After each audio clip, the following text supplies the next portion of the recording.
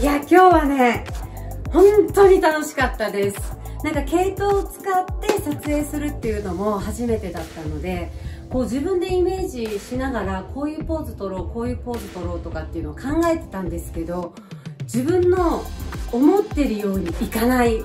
そこがまた楽しかったです。なんか自分でこうイメージしてるとあこういう形してるなこういう形してるなっていうのがこう絵でわかるんだけど自分が想像してる以上に面白いこうポージングだったり表情だったりあと毛糸の絡み方だったりもう今回はとにかく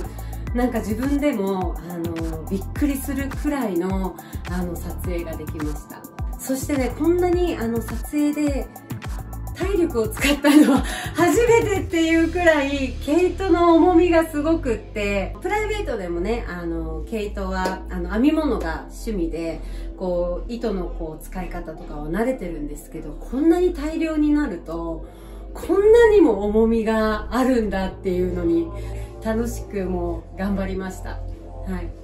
いや前回をねファーストの時はこうヘアダンスといってヘアを使ったダンスをしたんですけど今回は特にこう自分のパーソナルな部分っていうのかな編み物も自分の趣味の一つですしダンスももちろん仕事でもプライベートでも好きな部分であったりしてそれをこう融合させた撮影っていうのは今までに私も撮影したことがないので